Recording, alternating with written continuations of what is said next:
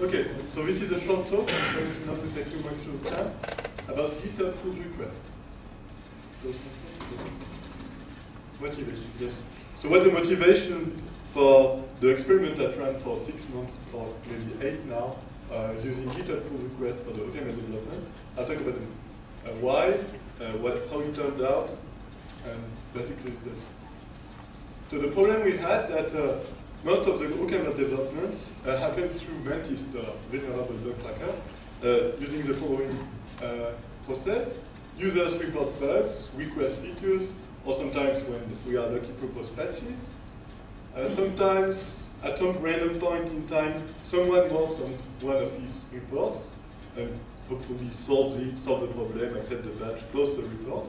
And uh, once a year, approximately, Damien puts out a release with some bug fixed and some new features. But what happens in practice is that the serious bugs get fixed. Uh, the features are mostly ignored.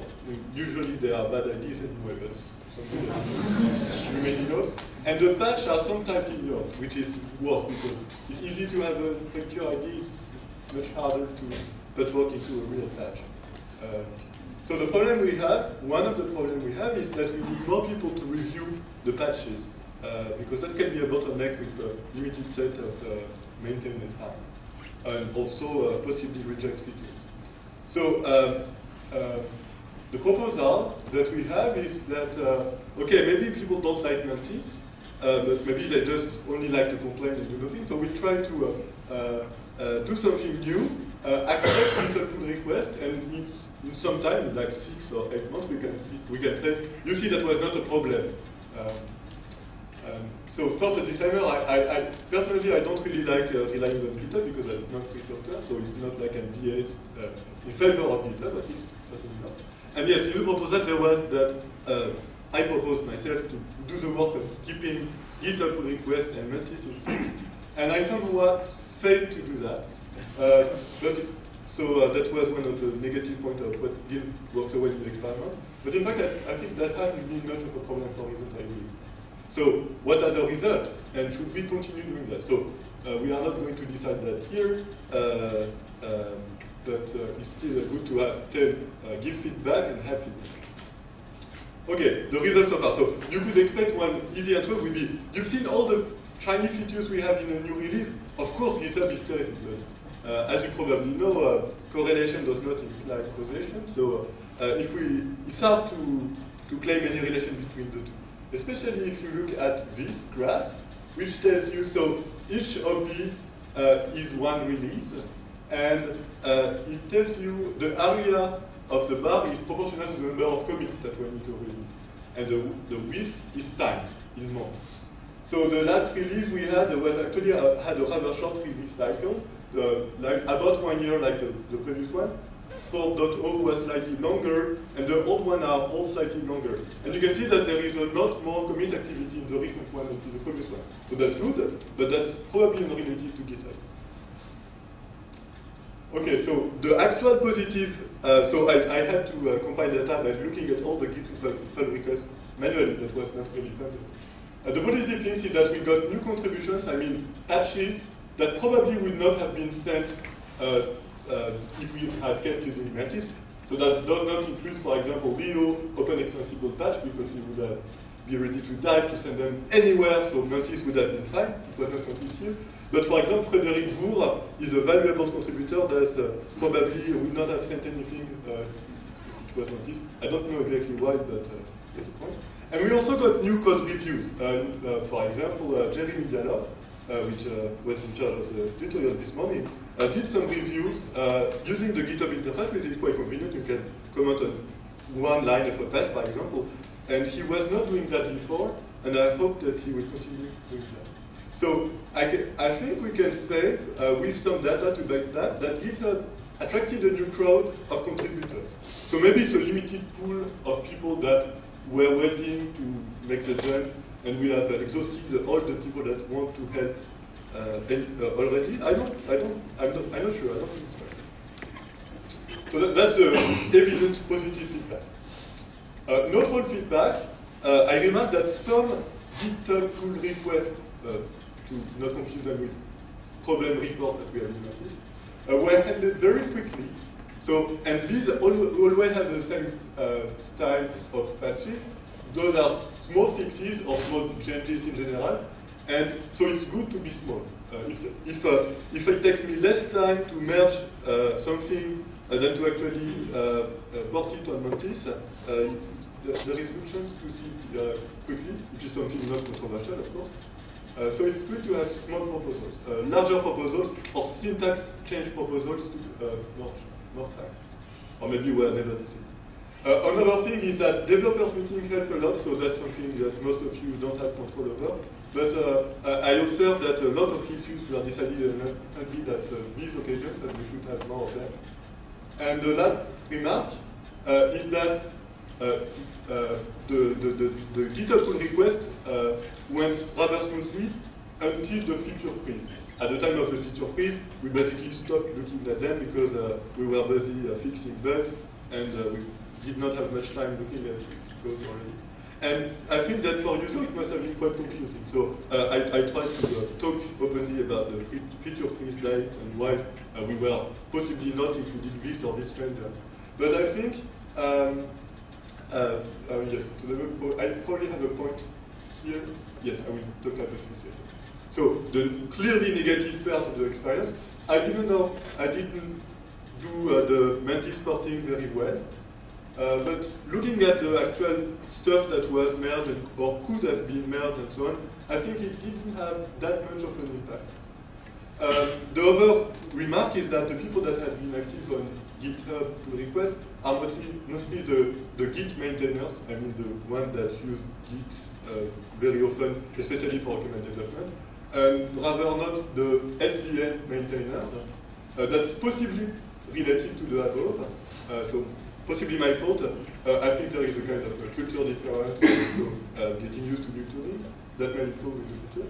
And yes, this point, I think that to be more effective, something like that, so um, I don't know what will happen of GitHub pull requests for OCaml right now, but so I think that to be more expected than it was, uh, we should tell, be more transparent about the cycle of the of the release development. Uh, and the last question is, yes, is this process Gabriel done? Because next year I plan to spend more time uh, on my PhD and less on OCaml development. it's official. It's official. I told my love. Um, so, so I'm slightly worried that uh, uh, if we decide to keep up doing GitHub pull requests, uh, that will work less well uh, in this uh, situation. Uh, but um, um, I have hope. Alain has been, for example, he's not here, so um, uh, has been uh, extremely helpful uh, working with GitHub pull request as well, uh, So yes, probably we may need to change something, but I think we could do away with this difference. Okay, so I'm done. Here are some of the names of the people that sent useful stuff through GitHub and probably wouldn't have otherwise. Uh, uh, so thanks to uh, all of them for their contribution. A lot of some people that are not named on the list also made useful comments and so on. So yes, thanks to. Do you have any questions?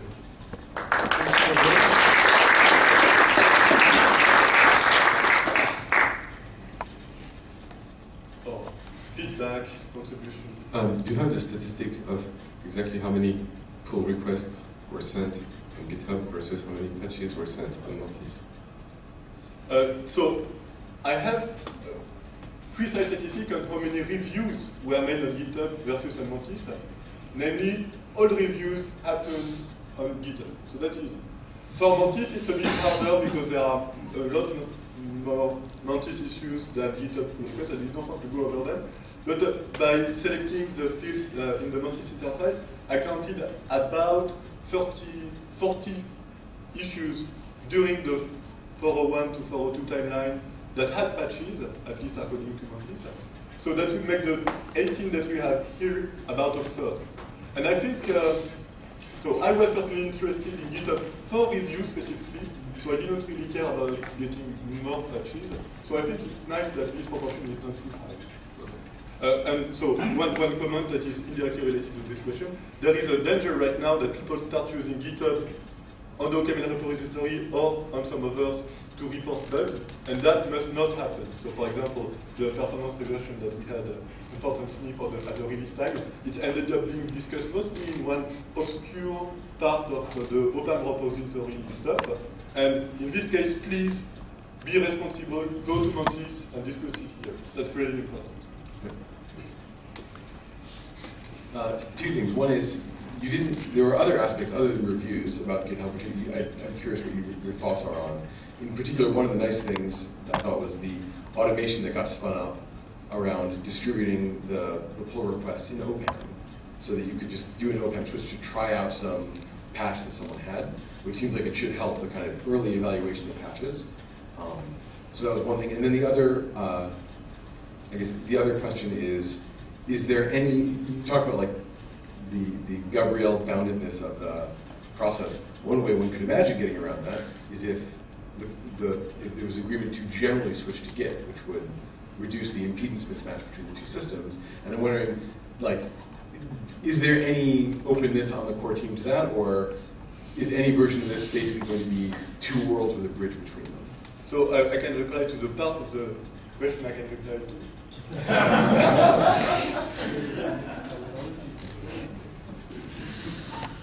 Uh, so first, regarding a move to Git, uh, I don't really believe in that. Uh, it's not my answer to give in any case, but uh, there is so much information in the Mantis database right now. It's, it's really, really useful. We have uh, PR numbers in the source code uh, that tell you if, and, and that I mean, in the source code, in some place, the, there is a PR number that basically means, okay, this is a complex issue, the, the discussion is situated here. Of course, you may port, but I think the OCaml team had a migration of bug tracker once, and they don't want to have that again ever. So I don't really In any case, I think Mantis here are good at handling bug reports. So for patches, GitHub interface is really an improvement, I think. Uh, I would love to find a way to drive uh, Anil into experimenting with GitLab, for example, because I think it would be just as good and more local and uh, um, free software, all kind of goodies. But I think there is a definitive improvement on pull request. Uh, for issues, I'm, I'm less convinced, but uh, uh, could you repeat the first half of the question? So the first half was just one of the advantages that was gotten, I think, by having pull requests these now oh, programmatically accessible, so you can get them in So, so uh, I have my own scripts that I'm thinking of uh, publishing more widely to uh, easily uh, turn Git branches into OPAM switches that I use internally. Uh, it's, it's, it's, it's open source. I wanted to put it in OPAM. The problem is it's only useful if it can be used from all the OPAM switches you have. So you cannot publish it as an OPAM package right now. That would not really make sense. So I did not personally use that. And in practice, in the discussion, I, I have not seen much uh, feedback of the form, oh, I use this patch and this, this, this uh, feedback again. Uh, more generally, but I think it can be useful. I think the the, tra uh, the the continuous integration that uh, was added uh, may be also useful in the future. it was a beginning, so it was not mature enough, I think, to give really good feedback, but I think it, it's something useful to have large test suite run on pull request. for the switch, there is a more general pattern. Sometimes people comment on pull request saying, oh, this is so cool, I want this. And that's not really useful. Uh, because the hard part is uh, fixing the bugs, looking at the code, uh, merging stuff into. And so uh, cheerleaders are good, uh, but not that productive. Okay, I think we should continue the discussion during the break. thank you, again, Gabriel. Uh, the break is actually very short